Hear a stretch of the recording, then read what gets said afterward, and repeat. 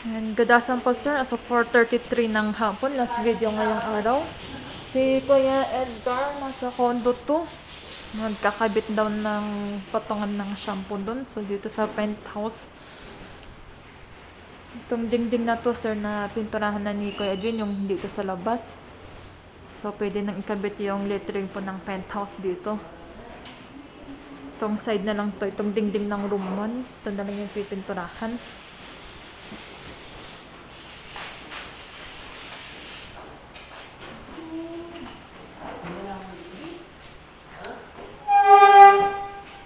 Yan, dito sir sa room 1. Yung pinagtanggalan dito ng built-in na cabinet sir, yan napintunahan na ni ka Joseph, pati yung baseboard na retouch na po niya.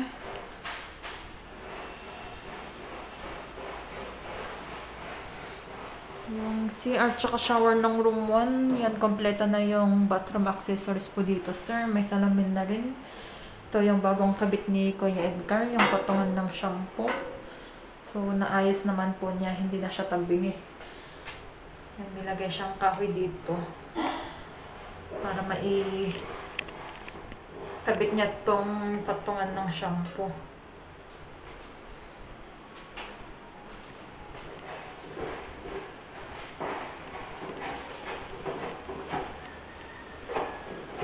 Ay, sana yun? Room 2. Yan, ito yung forma na ginawa ko ni Kuya Edgar. Ay, sa maliit lang pala. Ayan. Tapos bintana.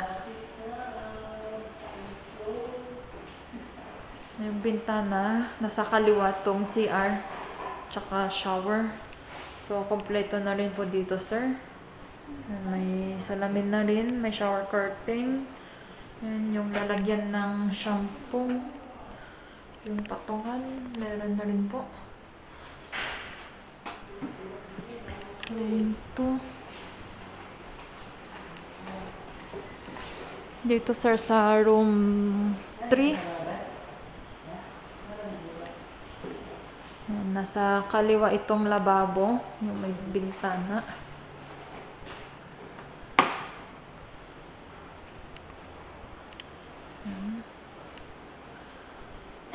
Tapos nasa kanan itong shower tsaka CR. So, kompleto na rin po dito, sir. May shower curtain na rin. Ayan, yung patungan ng shampoo, meron na rin po.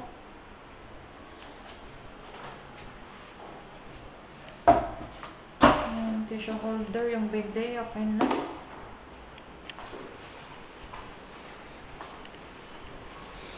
Dito sa room 4.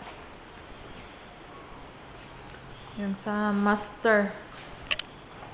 So, ito na yung salamin, sir, na varnish na to ni Kuya Edgar. Na top coat na po niya kanina. Yan, hindi ko lang alam kung kinulayan na naman po niya to kasi matingkad yung kulay.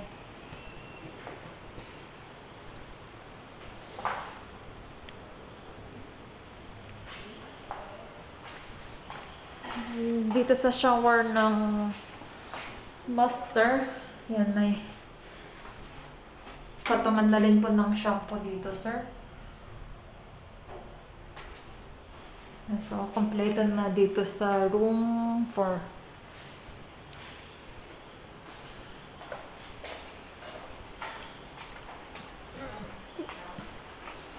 Dito sa room 5.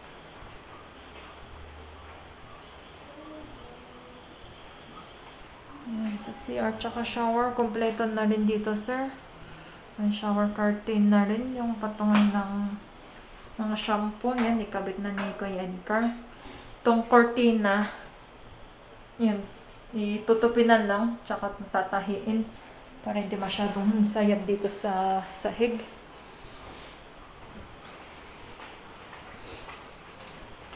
Room 6. Yung last room. Naikabit mo na ka, Ed? Yan, room 6.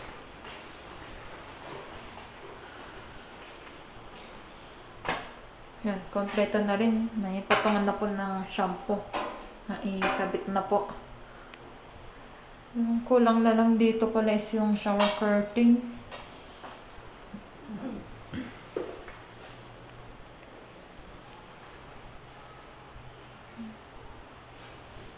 Yan, tsaka yung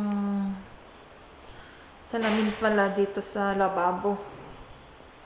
Room ano to? 5 and 6, tsaka sa room 4. 5 and 6. Tapos nga, i-check up natin pa na. Ay, tsaka. Yung screen pala dito sa veranda. Na pinturahan na pala ni Kuya Edwin yung bagong kabit na screen. Hindi, bagong palit din. Yan, kakulay lang din nung dingding.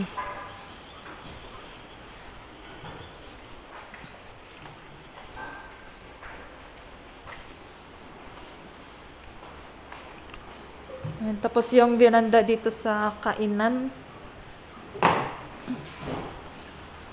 Veranda. Yung screen. Yan, mga pinturahan na ni Kuya Edwin.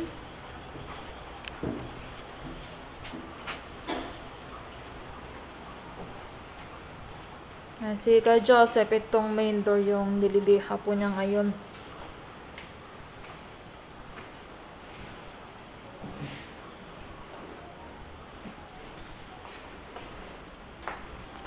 Sino si Kuya Edwin?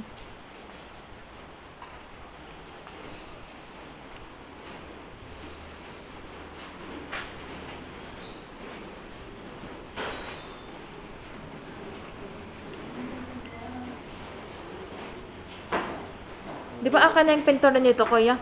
Ha? Yan, yung dingding na yan. Oh. Akin na yung pintura. Yan, yung screen dito sa labas. Yung sa kainan. Tsaka yung din sa room 1. Yan, ito yung pipinturahan ni Kuya Edwin. Itong frame niya, screen frame.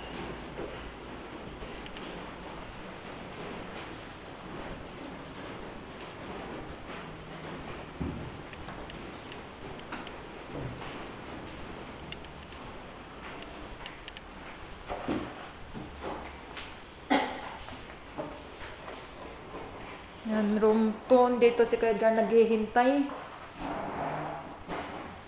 So, ito po yung top table. Ito lang ang pinaka-edging niya. Para nakanosing siya. So, lalakad na siya. 18. so, 18 and a half. So, okay ng top table siya. Tapos, ito po yung height ng, ng table, ng, ng mesa. Gusto po dito lang tayo lagay ng dalawang shelf kabilaan sa dalawa. Pwede natin lagyan ng pinto. Yung gitna. Ayan natin naka-open siya. Dito pwede tayo maglagay ng drawer. Isang drawer. So, pwede dito isa. Dalawa.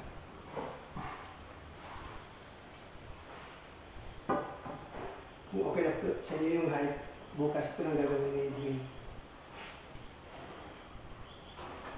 Ito pa yung isang kwan.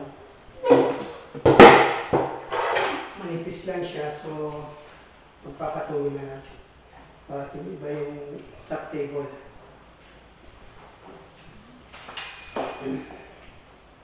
Yun lang. Ah.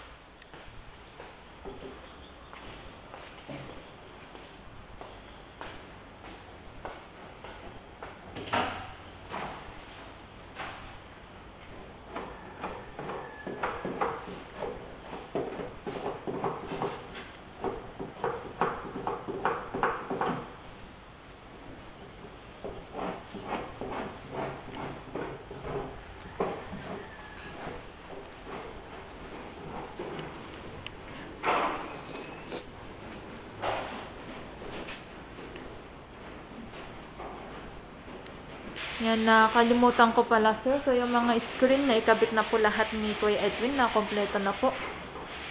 Yan, mula sa mga kwarto. Tsaka yung dito sa mga CR.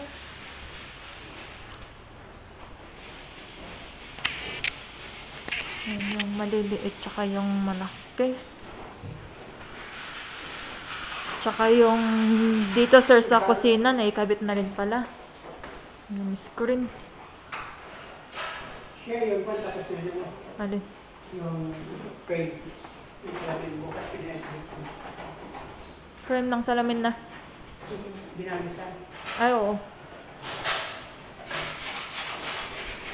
Ayan, so, solved na yung screen. Tapos na. Painting na lang.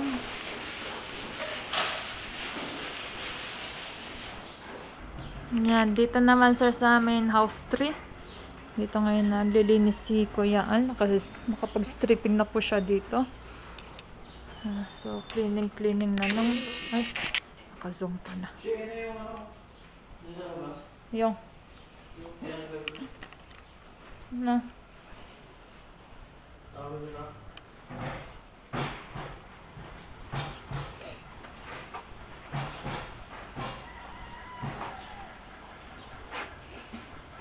Yan, sa main house, ito yung pinalitan ni Kuya Al na towel rack. Wala pa akong pinalit. Ha? Wala pa akong pinalit. Ay, wala ka pang pinalit? Hmm, ayun yung luma. Saka ito yung sabitan ng towel niya. Hindi pa naman pala Puro kalawang na. towel rod yan eh. Hmm. Wala na mahina na eh. Pang Gusto ko yung doorknob sa mga CR. Pinalitan ko na rin. Hmm. Una ang alawang.